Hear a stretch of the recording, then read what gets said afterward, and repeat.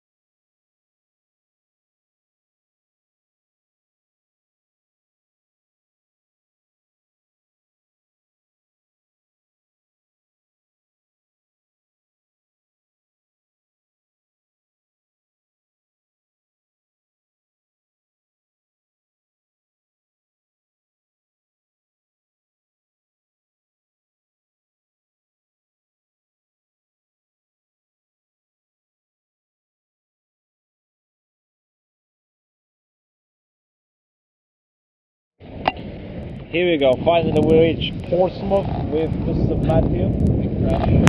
No crash. Everything is fine. Lovely weather. Lovely seaside.